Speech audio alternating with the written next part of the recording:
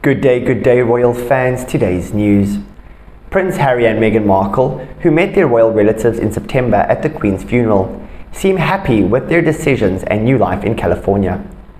The Duke and Duchess of Sussex have achieved the most of their plans after quitting their royal jobs as they settled down in Los Angeles in their newly bought mansion.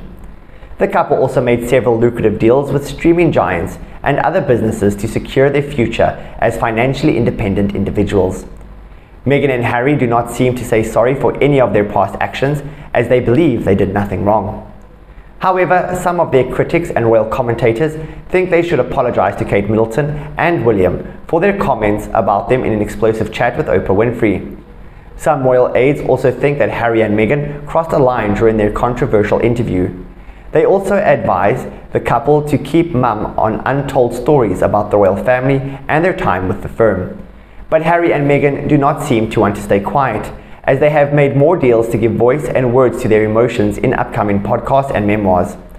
However, some still believe that Harry and Meghan's one good step can help bridge the gap which occurred over the past few years with the firm.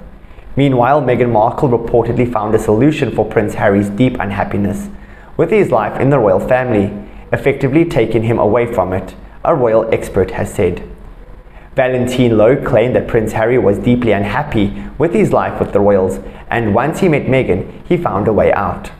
He said, There is a part of me that thinks Meghan did Harry the greatest kindness anyone could do to him, which was to take him out of the royal family. Low added, because he was just desperately unhappy in the last couple of years in his working life. We knew he was unhappy, but we didn't really know what the solution would be. She came along and found the solution. Prince Harry and Meghan famously quit their royal duties in 2020 in what has come to be known as Megxit and have since relocated to the US where they live with their two kids Archie and Lilibet.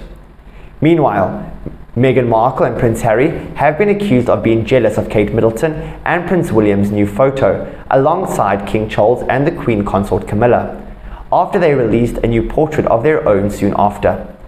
The Duke and Duchess of Sussex posed for friend and photographer Misan Harriman for the stunning portrait days after the new King Charles posed behind his wife, the Queen Consort Camilla, Prince William and Kate Middleton for an official royal family portrait. While many criticized the couple for overshadowing the royals by releasing the picture soon after them, a commentator suggested that Prince Harry seemed to hide behind Meghan in most of their official photos. Why do all the photos of Harry and Meghan have her in front and him hiding in the back? said one user on Twitter, while another claimed that the new royal photo must have ignited jealousy in Meghan. Surprise, surprise. Her jealousy raises its ugly head. Harry and Meghan released photos after royal family's new portrait, said the commentator. That's it for today, guys. You know the drill. Like, comment, and subscribe. Goodbye for now.